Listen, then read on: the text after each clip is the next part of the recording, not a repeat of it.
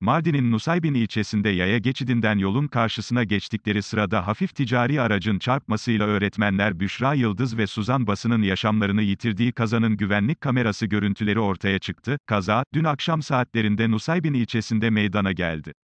Oğuzhan İlkokulu'nda görevli öğretmenler Büşra Yıldız ve Suzan Basın'a, Mardin Yolu Caddesi'nde yaya geçidinden yolun karşısına geçmeye çalıştıkları sırada plakası ve sürücüsünün ismi belirlenemeyen hafif ticari araç çarptı. Çarpmanın etkisiyle Yıldız ve Basın, ağır yaralandı. Çevredekilerin ihbarı üzerine bölgeye ekipler sevk edildi, yaralı Büşra Yıldız ile Suzan Basın, sağlık görevlilerince olay yerinde yapılan ilk müdahalelerinin ardından ambulanslarla Nusaybin Devlet Hastanesi'ne götürüldü.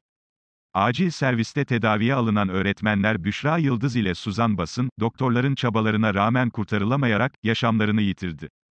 Hastanede yapılacak otopsinin ardından Suzan Basın, Nusaybin ilçesinde, Büşra Yıldız ise Kastamonu'nun Bozkurt ilçesinde toprağa verilecek, öğretmenler Büşra Yıldız ve Suzan Basın'ın öldüğü kaza anı güvenlik kamerasına yansıdı. Görüntülerde, Yıldız ve Basın, yaya şeridinden yolunu karşına geçmeye çalıştıkları sırada hızlı gelen hafif ticari aracın çarptığı anlar yer aldı.